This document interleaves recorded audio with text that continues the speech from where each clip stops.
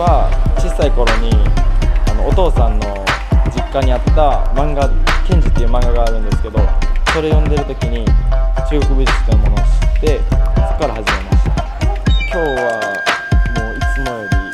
バチバチに決めて自分で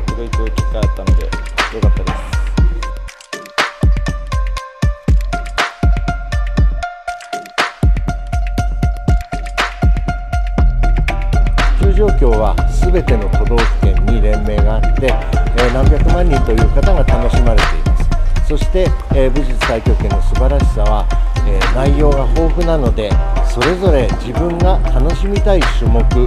を楽しめるというところであります、えそのために、ま、24式太極拳世界で普及していますが、えこれを中心に、え普及を行っておりますしまた、え武術の多様性を発して、えーいろいろな種目で楽しんでいるところです今日は3日目で、え残念ながら伝統の種目さまざまな種目の